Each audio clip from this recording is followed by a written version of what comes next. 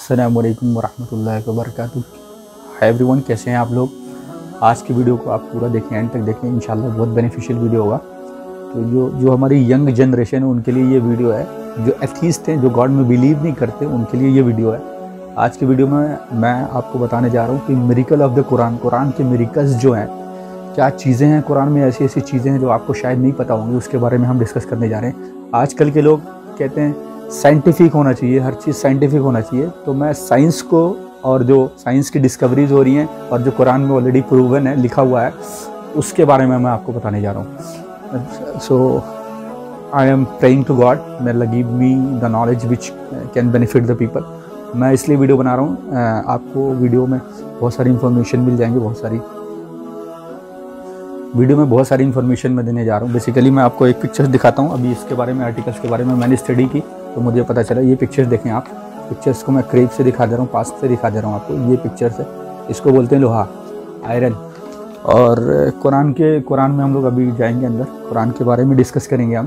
तो मैंने जो आपको पिक्चर्स दिखाई अभी, वो पिक्चर्स आयरन की पिक्चर थी, लोहे की पिक्चर थी। 1400 साल पहले कुरान में क्या लिखा हुआ है, अब क्या डिस्कवरीज हो रही है, मैं वो सब आपको बताने बताने की कोशिश करूँगा इन पूरी वीडियो को देखें और बहुत अच्छे तरीके से समझें।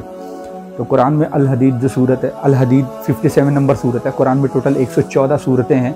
मतलब सूरत का मतलब ये हुआ 114 चैप्टर हैं। तो आपको ये सारी चीज़ें बहुत अच्छी तरीके से समझनी होगी। कुरान में 114 चैप्टर हैं, जिसको हम सूरत बोलते हैं। कुरान डिवाइड किया गया है सूरत में, उसके बाद फर्दर डिवाइड किया गया है आयत में। तो मैं आपको बताता हूँ, सबसे पहले साइंस क्या कहता है? ये जो मैंने आपको पिक्चर दिखाई लोहा, ये कहाँ से आया? साइंस कहता है it can not be from science it cannot be formed in the uni uh, in the solar solar system. It cannot be formed in the solar system. ये जो लोहा है ये लोहा सोलर सिस्टम के अंदर फॉर्म नहीं हो सकता। बिकॉज़ जो सूरज की रोशनी सूरज की हीट है वो लोहे को बना नहीं सकती लोहे को फॉर्म नहीं कर सकती। उसमें इतना टेम्परेचर नहीं है सूरज में। तो ये बाहर से फॉर्म हो गया है। और जो हम कुरान में अल हदीद जो अल्लाह ने 57 जिस पे हम बात करने जा रहे हैं 57 नंबर सूरज जो है अल हदीद अल हदीद लोहा, द आयरन इसको बोला गया उसमें। द आयरन इसका चैप्टर नंबर है फिफ्टी सेवन अब आपको सारी चीज़ें याद करने को इसमें अल्लाह ने बोला वी हैव सेंड डाउन मतलब हमने वहाँ से भेजा। हमने हेवन से, हमने हेवन से इसको भेजा। जब अल्लाह ने बिग बैंग बना तो अल्लाह ने बिग बैंग के अंदर ही अर्थ को क्रिएट किया। अर्थ को क्रिएट करने के बाद अल्लाह ने ये हमें जो लोहा है, इसको भेजा। अभी हमें क्या पता चल रहा है कि हम लोहे को ज़मीन से खोद के निकालते हैं और साइंस अभी एडवांस हो रही है, तब हमें पता चल रहा है कि ये लोहा तो बाहर से फॉर्म होकर आ रहा है। और पहले जब 1400 साल पहले ये कुरान में अल्लाह के नबी को भेजा गया, मोहम्मद वसल्लम को भेजा गया ये कुरान, और लोगों को वो बता रहे थे, उनके सामने पढ़ रहे थे तो अल्लाह ने ऑलरेडी कह दिया वी है we have humans have so many benefits मतलब इसके बहुत सारे बेनिफिट हैं तो हमें ये बेनिफिट्स पहले नहीं पता थे। आज हमें ये बेनिफिट्स पता चल रहे हैं। Because of modern science modern science की वजह से हमें ये बेनिफिट्स पता चल रहे हैं कि हीमोग्लोबिन में भी आयरन अवेलेबल होता है और हमारे सोलर सिस्टम में भी मैग्नेटिक फ़ील्ड होती है उसमें आयरन होता है। जो हमारी अर्थ है उसकी मैग्नेटिक फ़ील्ड होती है उसमें आयरन अवेलेबल होता है। अल्ट्रा अल्ट्रावॉलेट रेस को सुपरनोवा जब ब्रेक होकर आता है अल्ट्रावॉलेट अल्ट्रावॉलेट जो रेस होती हैं उसको प्रोटेक्ट करता है आयरन तो हम आयरन के बारे में आज आपको आर्टिकल मिल जाएगा बहुत ईजीली तो सबसे पहले आपको ये समझना है, कुरान 1400 साल पहले आया, इसमें टोटल चैप्टर 114 है। और सबसे पहले सोलर सिस्टम की बात अगर हम करें तो सोलर सिस्टम में फॉर्म नहीं हो सकता, अल्लाह ने ऑलरेडी बता दिया हमें कि हमने आयरन को सेंड डाउन हमने भेजा हुआ है। और अब और डीप में हम लोग जाते हैं और आप समझने की कोशिश करें कुरान तो हमारा 1400 साल पुराना है और ये जो साइंस की डिस्कवरी हो रही है हैनरी ने इसकी डिस्कवरी की एटॉमिक नंबर की। अब हम बात करते हैं एटॉमिक नंबर आयरन का जो एटॉमिक नंबर है, हर मेटल का एटॉमिक नंबर होता है. तो हम आयरन के एटॉमिक नंबर की बात करेंगे. आयरन का एटॉमिक नंबर 1913 1913 में इसकी सर्च हुई. 1913 में सर्च होने के बाद हमें पता चला कि आयरन का एटॉमिक नंबर है. अब देखते हैं, मैं बताता हूँ मैंने इस, ये आप क्यों बताया कि इसका एटॉमिक नंबर है? Because atomic number twenty iron का एटॉमिक नंबर ट्वेंटी सिक्स है और जो अल जो वर्ड अल हदीद है, उसकी अरेबिक में न्यूमरोलॉजिकल वैल्यू ट्वेंटी सिक्स है. तो आपका आयरन का एटॉमिक नंबर भी 26 है और अगर आप अरबिक में वर्ड देखेंगे अल हदीद तो उसकी न्यूमरोलॉजिकल वैल्यू भी 26 ही होगी।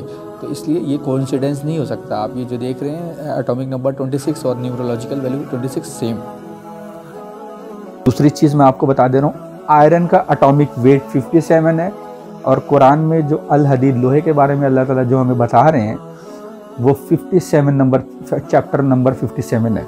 तो क्या ये कोइंसिडेंस हो सकता है? नहीं हो सकता ये कोइंसिडेंस और तीसरी चीज़ मैं आपको बता दे रहा हूँ, जो लोहा होता है, ये लार्ज अमाउंट में लार्ज अमाउंट में अगर हम इसको ढूंढें इसको निकालते हैं तो ये हमें सबसे ज़्यादा कहाँ मिलता है? अर्थ की जो कोर होती है सेंटर में मिलता है।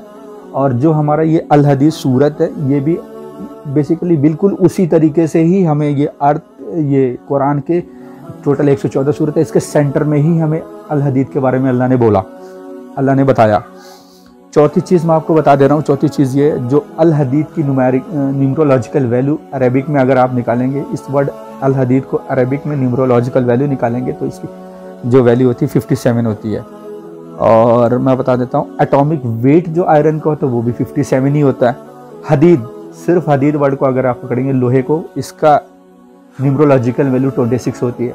और अगर आप आयरन एटॉमिक नंबर देखेंगे, आयरन का तो ट्वेंटी सिक्स होता है। ये सब पॉसिबल नहीं हो सकता। बिकॉज़ अल्लाह ने ये सारी चीज़ें बनाई चौदह सौ साल पहले, एक हज़ार साल पहले, अल्लाह को सब पता था और हमें ये बुक्स दी, हमें इस बुक्स को रीड करना चाहिए, हमें समझना चाहिए कि कुरान में क्या क्या चीज़ें हैं। मैं आपको एक बार फिर से बता दे रहा हूँ। चार चीज़ें मैं आपको बता रहा हूँ, आप ये समझें। अल्लाह ने अल हदीद सूरज जो है, कुरान में 57 नंबर चैप्टर नंबर है। उसमें अल्लाह ने कहा, हमने आयरन को वहाँ से भेजा। और हमारा साइंस कहता है कि सोलर सिस्टम में अर्थ आयरन फॉर्म नहीं हो सकता इसलिए ये कहीं से आया हुआ है। तो अल्लाह ने ही भेजा। दूसरी चीज़ मैं आपको बता रहा हूँ आयरन का अटोमिक नंबर होता है ट्वेंटी सिक्स होता है और कुरान में अटोमिक नंबर ट्वेंटी सिक्स हो गया और कुरान में जो अल हदीद वर्ड है उसकी न्यूमरोलॉजिकल वैल्यू भी ट्वेंटी सिक्स है। तो अटोमिक नंबर भी ट्वेंटी तीसरी चीज़ मैं आपको बता दे रहा हूँ आयरन का एटॉमिक वेट जो होता है वो 57 होता है। Atomic weight of iron is 57 और अल्लाह लोहे के बारे में जो कुरान में बात कर रहे हैं, वो सूर्य अल हदीफ चैप्टर नंबर 57 ही है। चौथी चीज़ मैं आपको बता दे रहा हूँ।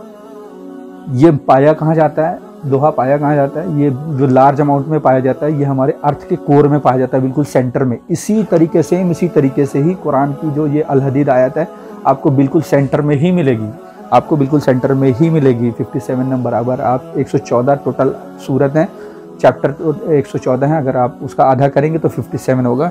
इसी तरीके से आपको 57 में ही मिलेगी। पांचवी चीज़ मैं आपको बता दे रहा हूँ, जो न्यूमरोलॉजिकल वैल्यू अल हदीद वर्ड है अरबिक में इसकी 57 होगी, और हमारा एटॉमिक वेट जो आयरन का होता है, वो 57 होता है। एक चीज़ और मैं आपको बता दे रहा हूँ, जो अरबिक में हदीद वर्ड है, उसकी न्यूमरोलॉजिकल वैल्यू 26 होती है, और एटॉमिक नंबर आयरन का 26 होता है। ये सब जो आप देख रहे हैं, जो चीज़ें मैं बता रहा हूँ, मैं आपको ये पेज दिखा दे रहा हूँ। आप ये देख लें, मैं आपको ये दिखा दे रहा हूँ, आप इस पेज में देख लें। ये देखें मैं कैमरा टर्न करके आपको दिखा दे रहा हूँ, कैमरा को दिखा दे रहा हूँ। ये देखें, list of chapter in Quran, total 114 मैंने आपको ये ये देखेंगे यहाँ पे लिखा हुआ है 114 टोटल चैप्टर हैं कुरान में। और ये देखें आप, अल हदीद, द आयरन के बारे में बात किया गया जो। ये देखें आप, अल हदीद 57 नंबर द आयरन। और मैं कैमरा ये देखिए तो मैं आपको पिक्चर्स भी लगा दूँगा जिससे आपको थोड़ा सा इजी हो जाएगा समझना। बेसिकली